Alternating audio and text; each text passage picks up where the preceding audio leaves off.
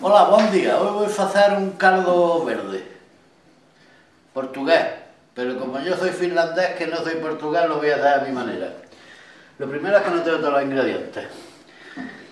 Podríamos hacerlo en una olla así recogida, ¿no? Pero nosotros, porque la madrina nos está que subir en la escalera, lo vamos a hacer. Eh, ¿Cómo se llama esto? No me acuerdo cómo se llama. Una cacerola, un, Sí, una sartén para eso. cazuela, sí. Cazuela. Eh, vamos a utilizar cuatro patatas que las vamos a lavar ahora después y casquear bastante gordas. Un chorizo, no me lavo las manos todavía, un chorizo, para, empezar el vídeo digo, chorizo normal y corriente, ellos utilizan chorizo ahumado, pero chorizo ahumado no tenemos nosotros. Bacon, vamos a utilizar el bacon si es ahumado, mira por dónde el chorizo no es el bacon, el chorizo del pueblo. Media cebolla, tres dientes de ajo, pimienta, sal, aceite de oliva y agua. Y vamos a utilizar el repollo, esta col, col, porque la col gallega, esta verde, verde, verde que la que utilizan ellos, aquí no la hay. Entonces el, el caldo va a ser verde, pero va a ser un verde claro. ¿Me está escuchando? Claro, no oscuro, un verde claro. Y ya digo, lo vamos a hacer totalmente diferente, a mi manera. Así que vamos a, a lavarnos las manos y a pelar todo esto y picar la cebolla y todos los dientes de todo.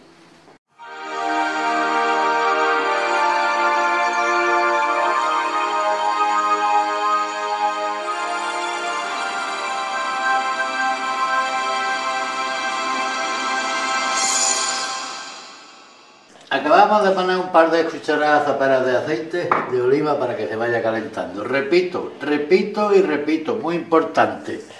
El caldo gallego este no es el auténtico, el caldo gallego. El caldo verde no es el auténtico portugués. Esto es una versión que yo voy a hacer por mi cuenta y riesgo. Y voy a hacer un sofrito para darle gusto luego al caldo. Vamos a ir sofriendo el chorizo.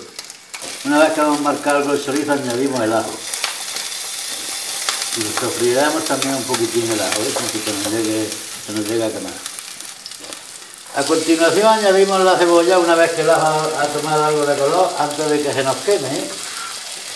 Y seguimos aquí pulsando, suavito, suavito, suavito, a fuego muy lento. ¿eh? Vamos a añadir un poquitín de sal, que todavía no le habíamos añadido ninguna sal a la cebolla para que llegue. Le vamos a echar el bacon ahumado, ¿eh? Repito que nosotros tenemos que sacar el, guiso, el gusto del guiso lo tenemos que sacar del sofrito, puesto que no vamos a utilizar ninguna pastilla de caldo ni nada. Esto si fuera el recipiente algo más recogido estaba mejor, pero aquí está también, la, la zaute, ya me he acordado cómo se llama la sartén esta, zaute, en americana. Aquí está también bien, porque aquí la madrina no se tiene que subir en la escalera, eh, vaya que se caiga y, y me vea extraviado. En un pueblo con mar, una noche, después de un concierto. El sofrito que nos va a dar el gusto, el, el gusto, el gusto, Sí, se te gusto. el gusto al guiso ya está hecho. Vamos a enfriar esto un poco, no vaya a ser que se nos queme.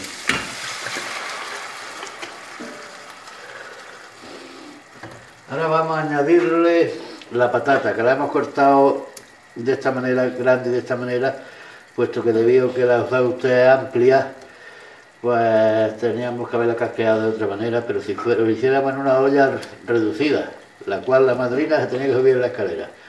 Lo que no queremos es que se nos malicie la madrina, ¿eh? que se nos estropee, que entonces estamos perdidos. Acaba el canal.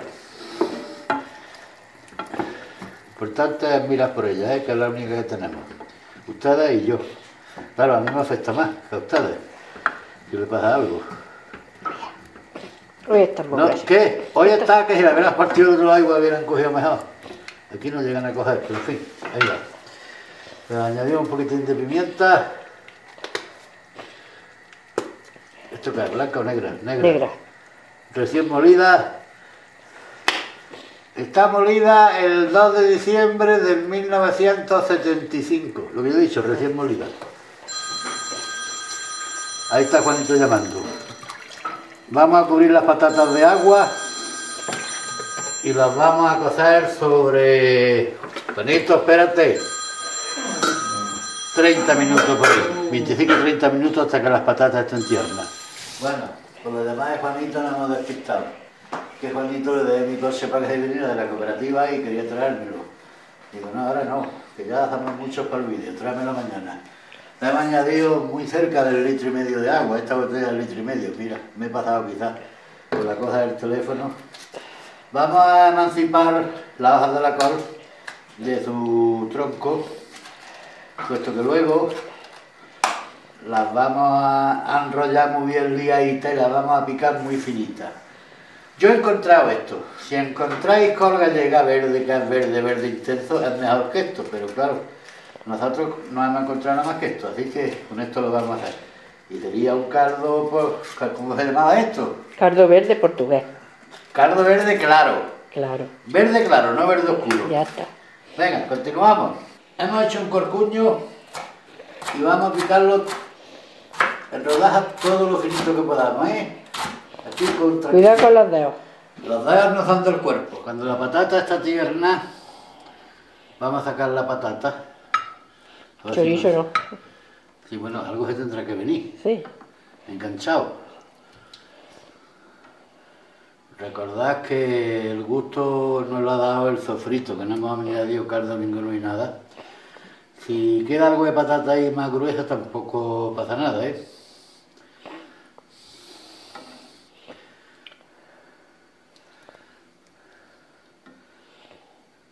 Corta vez las saco todas. Y ahora simplemente se trataría de chafarla muy bien con el tenedor, ¿eh? Vamos a chafar toda la patata. Una vez que la tenemos chafada, vamos a devolver. No hace falta que la hagáis puré, ¿eh? Que quede también algo gruesa. Con el, pla- el plato boca abajo y ya lo vas. No, porque no la vamos a echar toda. Ah, ¿no?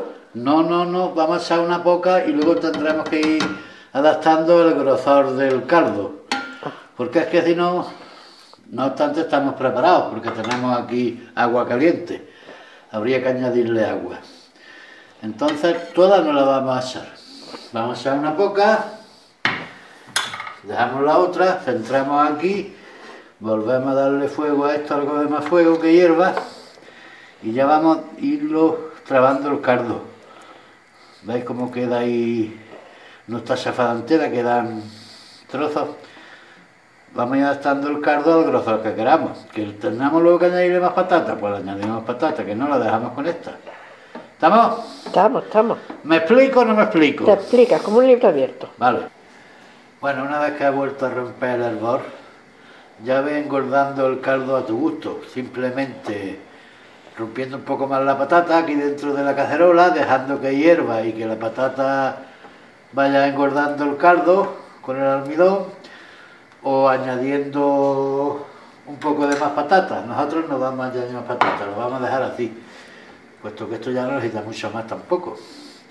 Esto ya sería cuestión de echarle la col verde, que en nuestro caso es verde claro, y esto sería unos 5 minutos por ahí para que se haga, ¿no? Sí, sí. Pues bien, vamos a reducir, que engorde una mitina más el caldo y le echamos la col. Bueno, lleva dos o tres minutillos hirviendo, le da algo, el caldo ha engordado, le vamos a añadir la col. Qué lástima que no sea col verde gallega, ¿eh? Entonces sería verde verde. Esto es un sucedáneo. Y esto pues habría que estar cinco minutos por ahí, ¿no? ¿Has dicho con cinco minutos, cariño? Sí. Otros cinco minutos hirviendo, ¿eh? Después de siete minutos de nuestra versión de, de, co- de cocer la col esta, que ni es verde ni amarilla, nuestra versión del cardo verde la acabamos de terminar. ¿Estamos? Ya está cocida la col rizada. Entonces simple- simplemente se trata de que lo dejéis a vuestro gusto. Y este sería la versión que nosotros hemos hecho, que no es la auténtica, ¿eh? ojo, cuidado, es una versión libre del cardo verde. Slit by